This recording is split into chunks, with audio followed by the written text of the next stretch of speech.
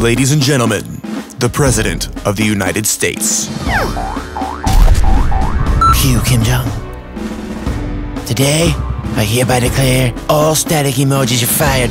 When my melatonia sends me this, I wonder, did the Botox freeze your face and you can't pucker? Now this is more like it. Received an itty bitty dick pic? Fellas, is that ass thicker than a Snickers? Even I know that this is racially insensitive. So to my black kings and queens, I give you these.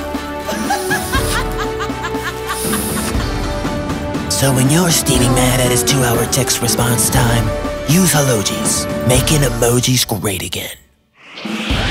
Hellojis. Download for free on the App Store.